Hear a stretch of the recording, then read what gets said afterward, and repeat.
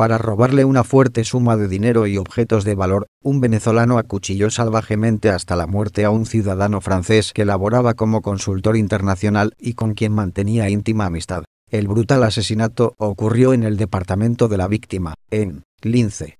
El 1 de mayo del 2019, Thierry Hubert Marie Gibois, 66, funcionario internacional, fue hallado sin vida, con múltiples heridas punzocortantes en el tórax, abdomen y cuello.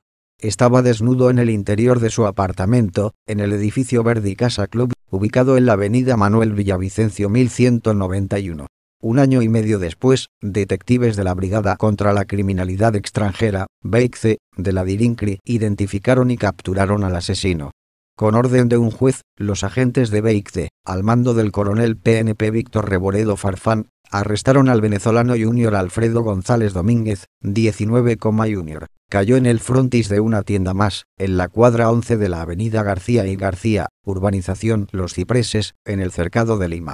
Lo grabaron. Cámaras de videovigilancia captaron a Junior y su cómplice cuando ingresaron al condominio donde vivía el francés, así como el momento en que se retiran con dos mochilas llenas de objetos. Incluso, en el ascensor, se limpian la cara, al parecer, de las salpicaduras de sangre. Ante el cúmulo de evidencias en su contra, Junior confesó su crimen en detalle.